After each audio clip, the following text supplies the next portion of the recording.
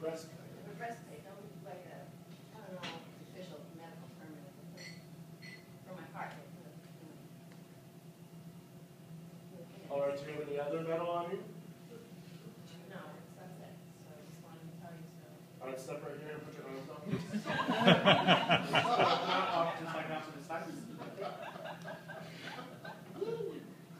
Not. Ha ha ha ha ha ha for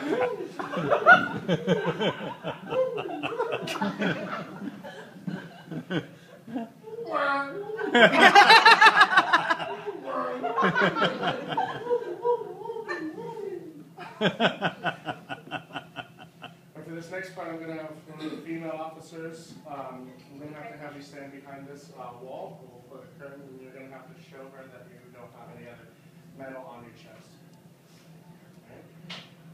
Alright? And you just stand right here, you know this curtain?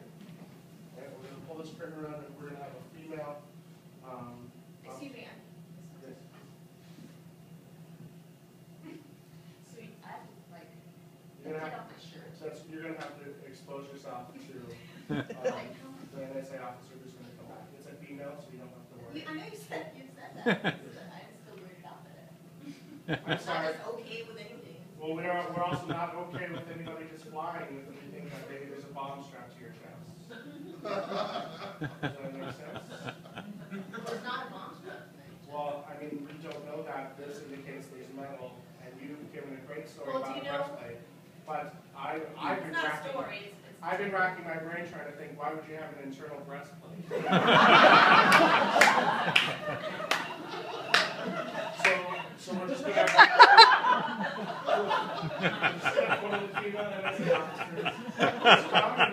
Take a look and make sure that there's nothing strapped to this. I just have one thing to say. Great?